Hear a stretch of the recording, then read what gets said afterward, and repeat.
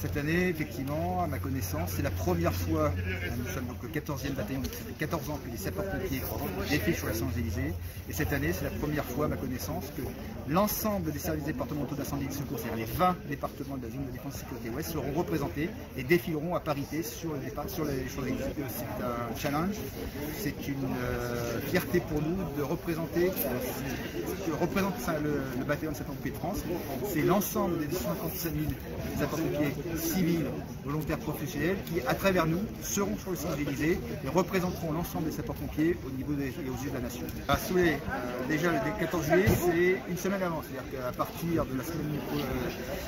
du 6 juillet, ça, du 6 juillet, nous serons sur Paris et nous aurons un certain nombre de répétitions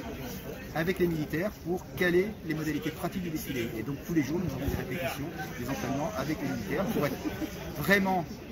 au top de notre présentation le 14 juillet devant le président de la République, l'ensemble du gouvernement et devant la nation. C'est très physique hein, puisque c'est euh, entre autres par exemple nous aurons des répétitions euh, sur les Champs-Élysées euh, la nuit pour euh, ne pas perturber la circulation et autres. Donc ça veut dire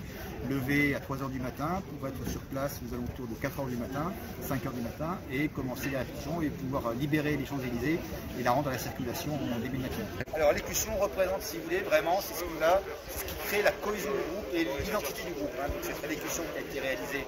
ici, en zone ouest, hein, et qui représente à la fois la zone de défense ouest, les couleurs sapeurs-pompiers, c'est-à-dire le bleu de notre tenue et la bande rouge qui nous distingue et qui nous identifie au niveau aux de la population, avec le drapeau tricolore et la tour Eiffel qui représente les deux symboles, le drapeau tricolore bien sûr, la, nation, et la tour Eiffel qui représente effectivement le symbole parisien et euh, la manifestation du 14 juillet.